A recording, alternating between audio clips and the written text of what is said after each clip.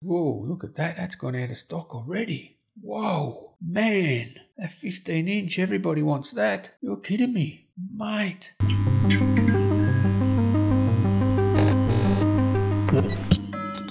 Right, tell you there, champs. Now let's talk about the ultimate machine for creators, designers, developers, and social creators, the Surface Book 3. And I've had my little hissy fit about Thunderbolt 3, but let's talk about why this is the best hybrid out there, why it's an awesome laptop. We're going to go through all the configurations and you're going to know which one you should buy. I don't want you to make any mistakes here. So yeah, I can't wait to actually get this beast in. Make sure you subscribe because I'm going to slam this thing. I'm going to compare it to everything MacBook Pros. You name it. Make sure you sub to see all those videos. And yeah, look at it. It's sexy, isn't it? It's a sexy machine. And you might think, well, they haven't changed the design much, but hey, the design was so good that it's still bang up to date. You might think, oh, the bezels, yeah, they're a bit big, but it's a tablet too, right? That's the awesome thing about this. You can just whip off that screen anytime, use it as a tablet. It's just the ultimate hybrid machine, and the battery life's going to be insane. You get new 10th generation CPUs, graphics options, and an option of an RTX Quadro 3000. Wow, that's a serious piece of kit there. That is like, wow. So, anyway, let's get into the configurations and specs and which ones you might buy for yourself. Now, the good thing about their site is they actually have this thing here. It says creators and designers, developers, social creators, right? So obviously, if you're a creator or a designer, which one would you get? Which do they suggest?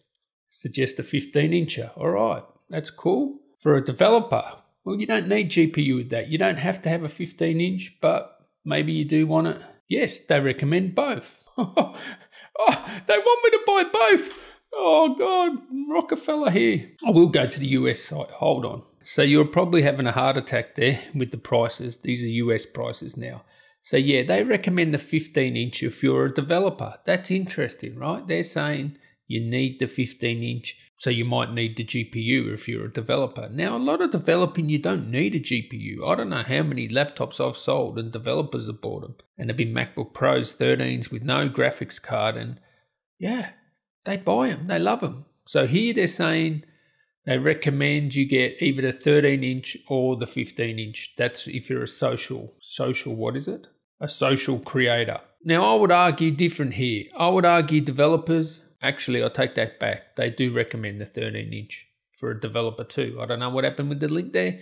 So they're recommending if you're a creator and a designer, go to 15 inch developer 13 or 15, social creator 13 or 15. Now in this video I'm going to tell you which one I bought myself, okay? So we're going to go through these specs. I'm going to tell you what you need for what sort of purpose. Now these are actually aimed more at professionals now, not so much at consumers. And if you're a social creator or developer, yes, the 13 inch can be an option. Now, should you get the 13 inch with the graphics or without graphics? Let's have a look here. We have a look at the 13 inch versus the 15 inch. There's the difference in the display. Obviously, the display is bigger on the 15 inch, higher resolution too, 3240 by 2160 versus 3000 by 200. They're both 3 by 2 So awesome in that sense. Pretty much the same. They've got the pen technology, all of them, 10 point multi touch. It's just pick your poison, right? What do you want? A 13.5 inch and a 15 inch. Now, interestingly, why I went for one over the other was, which I'll get into in a sec, is really, is there that much difference between the weight and sort of size? Yes, the size, a little bit of difference, but the 13.5 inch is more like a 14 inch size, and the 15 inch isn't that much bigger and it isn't that much heavier. So there's not that much of a penalty going from 13.5 to 15 inch. Like normally a 13 inch to 15 inch, there's a huge difference. With this, not so much. We're talking 3.6 pounds versus 4.2 pounds, or 1.6 kilos versus 1.9 kilos. Now, usually there's like at least a pound difference there, but no, not in this case. Now, you might be thinking, what CPU do I get? i5 or i7 before I get onto memory. The important thing here is they're all G7. G7, G7. So i5 versus i7, just get the i5. Sometimes you can only get the i7 with the graphics card that you want. That is what it is. But you don't need the i7. The only difference between the i7 is a slight boost in the clocks and a slight boost in the graphics frequency. It's the same graphics, just a slight boost. Now, if you want to get the i7, go for it. If you want maximum power, yeah, I'm like that. But there's not a great deal of difference between the i5 and the i7. Now, even though the 15 inch does have the same processor as the 13.5 inch, it's going to crank up a lot harder. It's going to go harder. It's going to sustain 25 watts for a lot longer. And the 13.5 inch will go down to like 15 watts. So 15 inch is just going to have the most power with the CPU, even though they're the same. Now, with the 13.5 inch, you have the option graphics, no graphics. As they said, are you a social developer? Are you a coder? You don't need a graphics card for those sort of things. If you're just doing productivity, emails, web surfing, content consumption, you know, Word, Excel, coding, you don't need the graphics card. Now, some coding does need it, but mostly you don't need it. You would know if you need it or not. So in that case, just get it with the Iris graphics. You will be able to play games on that Iris graphics as well. So that means you don't have to get the one with the GTX 1650 in the 13 inch. Now with the 15 inch, you get the graphics included. There is no option not to get the graphics. But in the 13 inch, you get the choice. And if you want to know how you can game on the Iris Plus graphics, so the version without the GTX 1650, check out my Surface Pro 7 gaming review. And you'll see in that you can even play GTA 5 really low settings 720p and you know Fortnite and stuff like that. So you don't need the graphics, but if you want that extra oomph, if you're a content creator or something like that, you're gonna want the GTX 1650 and it does have 4 gigabytes so it's a big upgrade over the last one it's a max q version you're going to be able to game on this probably around the sort of medium low settings 1080p some games high settings you know around that sort of 60 fps mark. Now really demanding games you will have to drop the settings a bit because you are bottlenecked a little bit by a quad core cpu but it's more than powerful enough. And for content creation 3d music production actually that's one thing too. If, if you're a music producer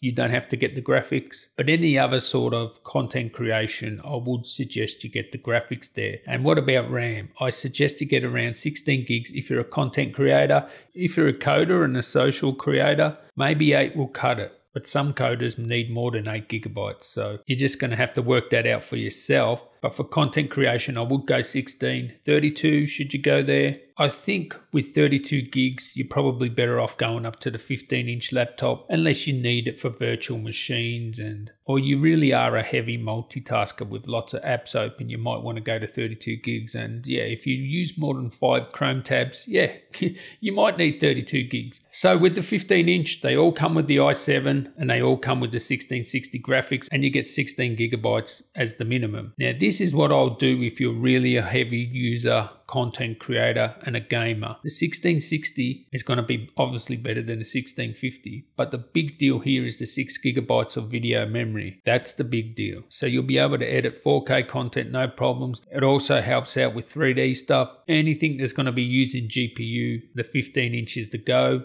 The CPU goes harder as well. So if content creation and gaming is the stuff you do, I think definitely the 15 inch is the way to go there. Because as you can see there, 127 watt power, if you look at the dimensions, there's not that much difference in the size, right? 12.3 inch versus 13.5 inch, 9.8 inch versus 9.14 inch. It's not your usual jump from a 13 to a 15. So that's my suggestion. So which did I buy? Which one did I buy? Now I went for a 15 incher because, whoa, look at that. That's gone out of stock already. Whoa, man, that 15 inch, everybody wants that. You're kidding me. Mate, this is the one I bought, the one that's out of stock. I'll tell you why. Look at the 13.5 inch. So 256, 199. 1999 so 2k it's $300 more and you get a better graphics card and you get the 15 inch display it's not too bad but if i actually look at the australian store what was interesting for me here in the australian store was